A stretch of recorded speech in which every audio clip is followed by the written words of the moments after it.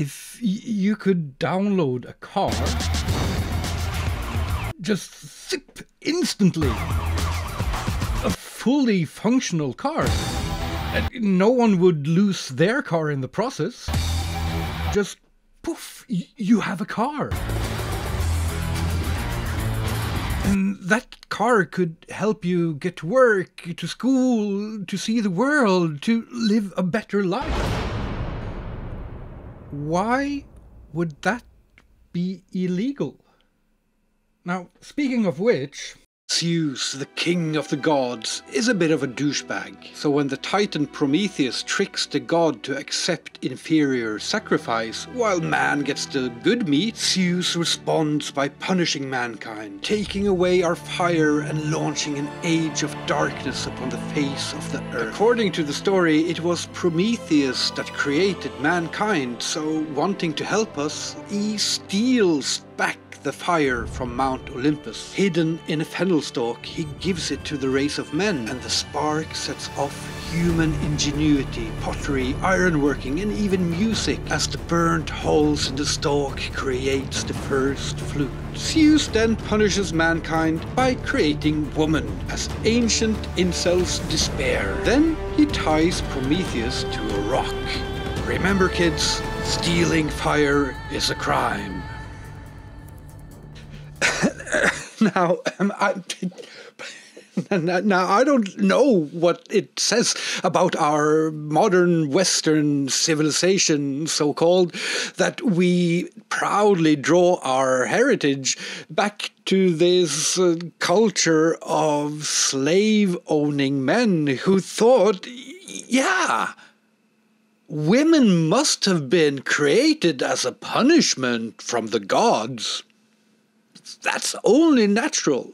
But you know, that's neither here nor there. The metaphor of fire and sparks as uh, creativity is ancient and suits our purposes today. If someone held the exclusive rights to fire, to cook, to heath, to make iron and pottery, they'd be kind of a dick, wouldn't they? Of course, copyright and the divine rights of gods isn't exactly the same thing. But, but it is kind of similar. A handful of corporations dominate intellectual property, stifling creativity and expanding their monopolies. Knowledge and the ability to control that knowledge is power as an artist, I'm like an ant pissing on the leg of a god. But thanks to the legal framework of things like Creative Commons, I can release my art for free use, advocating against the harm that copyright causes to artists, to society, to education, to, to, to, to, to humanity, while striving for better and freer laws. So today, while I'm going through my archive and tagging and releasing a bunch of new art, I thought it'd be a good idea to show a little bit of how you can use my art. The short story is that you can use it however you want, personally or commercially, as long as you credit me. The longer story is that each artwork is like a spark. Now you can use that spark to warm yourself for a little while, or you can use it to make your own flame. Now let's see how this works in what I call the stupid and cumbersome part of the video. Today I'm going to release over 100 new pieces for free use, and that's a lot of work. Not just creating the art, which I love, but also scanning, editing, uploading, tagging, and covering the hosting costs. After dedicating 20 years of my life to making free art, it's finally paying off. We sustain it by selling originals and prints on denungeherrholm.com and also by your memberships on Patreon, YouTube, and Facebook. However, I'm no archivist, and the current download site is a nightmare to navigate because I created it. So we have to expand our team to be more efficient and reach more people and educate them on how to use my free art. So even if you can't support financially, you can support by finding finding the new pieces, downloading them, printing them, changing them, and even selling them. And perhaps you spreading my art can spark the flame in someone else's imagination. Meanwhile, in the garden.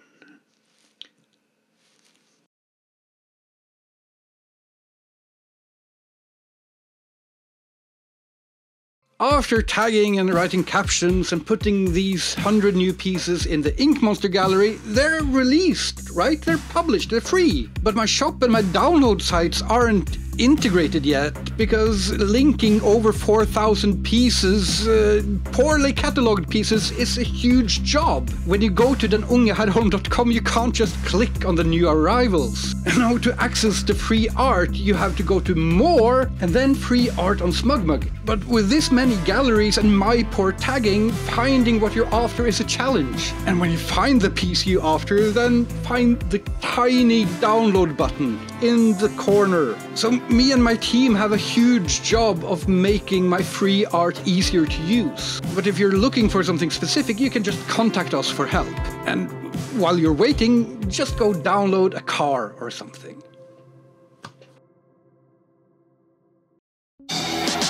Yeah, okay.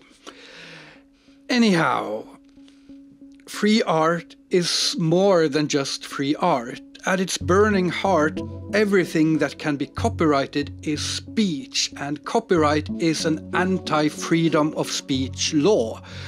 It impacts art and culture and education and science and progress. Uh, it suffocates them on the behalf of corporations.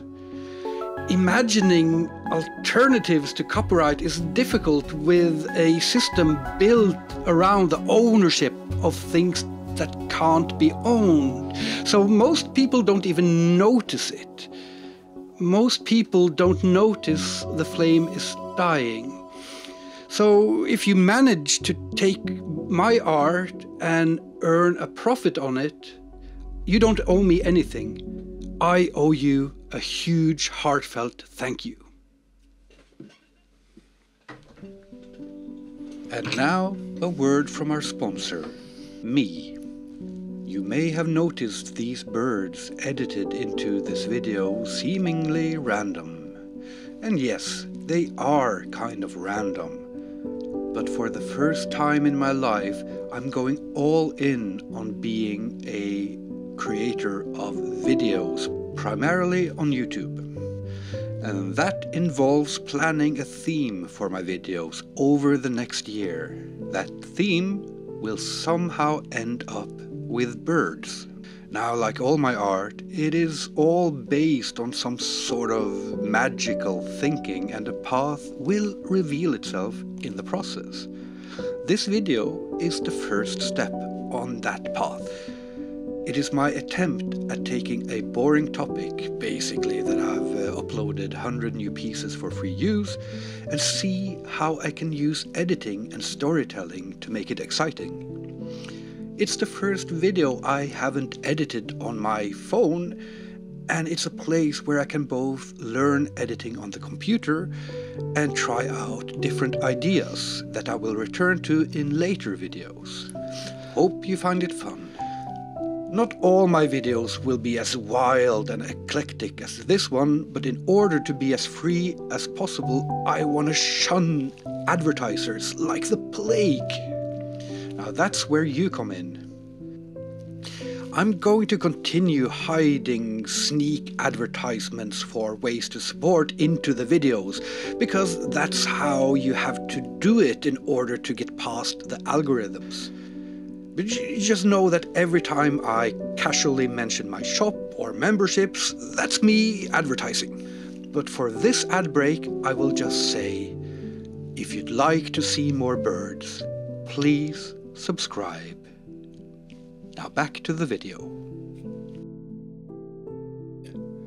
Okay, so what I thought we'd do now is uh, simply to look at some of the new ink monsters and see if we get some ideas of what they could be used for. Click more, Free art on SmugMug, not the catchiest title. Daily Ink Monster Gallery. There are a couple of ones missing that I will be uploading later. For instance, the two made for this video. Those will be out for free use when the video is released.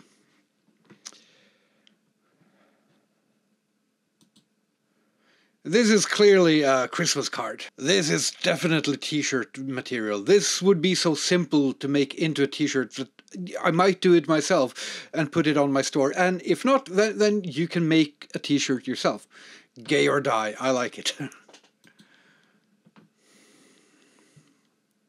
this one is, if you just uh, took a little snapshot of it, then that could be a pretty awesome CD cover or something. CD cover. No one does CDs anymore. LPs, that's where it's at. This is just a great little mascot. Mob, no, not Mob Boss, but Bob Moss, of course. Oh, I love this one. Also called Bob, strangely. This one is definitely a D&D monster or something. This one uh, has potential to be twisted into something really even more grotesque. This is also cover material, I think. And it could also be manipulated way beyond what I would do with my own stuff. And that's uh, the fun part is that other creative minds can come and interact with the art. And especially if you're planning on selling my art on your store, then you actually need to do enough with it, with the design, with the colors, with the letters, so that it has a personality of its own. Yeah, I want a game set in the world on top of that fella's little back. Someone do an epic RPG with Jax the World Buffalo. You can change his name unless your hero is called Daxter. Black metal cover art material? Ooh, now we're into older ones that were uploaded a while ago. We have a print of this one on the website, but this one is uh, gruesome in all the right ways. This is the stuff I like. This is the stuff that makes me happy the tribute to Technoblade because he was a hero of uh, one of my sons. He seemed like a good guy. I want someone to make a platformer brawler, kind of Streets of Rage or Double Dragon with this banana. That would be perfect. But you know, one of the problems of me looking through the art like this is that I'm not the best one to imagine what these can be used for. I've had requests from people who want to do short stories about them, and that, that is magnificent. Someone contacted me about training an AI on my art, and I would definitely want to be a part of that, but, but, but I managed to lose the email. This one t-shirt? I don't know. This one is material for something. It's so weird to look back. I don't really like looking at my art. But when it's this many images, then it sort of becomes okay in a weird way. Yeah, this one is disturbing. And generally people are too scared of messing with my art. But that's the point. The point is to collaborate and for you to do your stuff, for this to be a tool so that you can make it more awesome. Now we're almost at the beginning. This is the first Ink Monster I did. Now, this wasn't the point of this session at all, but we've gone all the way back to the beginning. So that's uh, 1,400 plus monsters ago. Hugh the Hangry Minotaur. Someone should make something with him. I should make something with him. Now, we're a tiny team and we're working our asses off to make ends meet, but we're getting there. We're getting there. And we also have to deal with 20 years of baggage of my bipolar ass messing up anything I come in touch with come in touch with, come into touch with, touch nose, touch. I, anyhow, that's why I so deeply appreciate every single person who chooses to find my art and to download it and to even if you just print it and hang it on your wall or if you do something with your local RPG group or if you use it in your indie game or write a short story or send it to your to your godmother. And it's so fantastic when people send me examples of their work and you know or when i've met people with my work tattooed on them it, it is mind-blowing and it i'm so grateful for it no matter how small or huge the project is. If you ever do anything with my work and you want to show it to me then then, then send an email to freeart at denungeherrholm.com or tattoo at denungeherrholm.com if you want to show off your tattoo with my art. Nothing makes me happier. Now, if it sounds interesting, maybe I can do some videos where I actually go in and manipulate the art and make it into different designs and to show a few examples of how you can actually use my work and, and do my take on it so you can do yours. But lastly, in this video, I, I, I, just want to say something to those of you who have already sent me your works with my art. And then uh, I'll give you one final new drawing time lapse at the very end.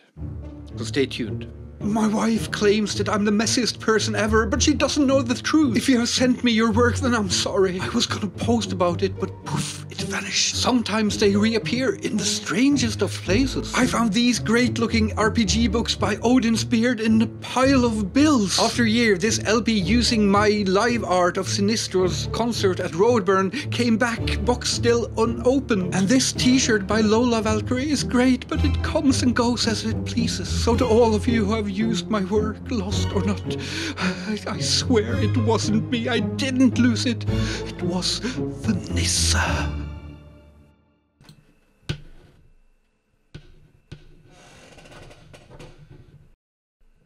Hmm? Hmm? Hmm.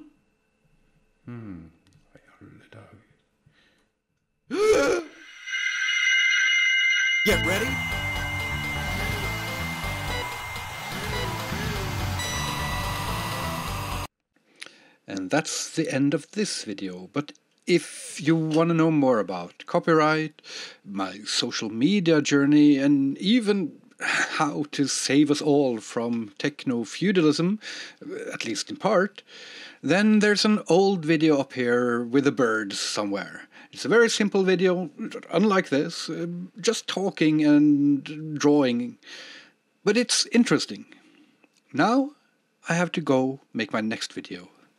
Make free art or die.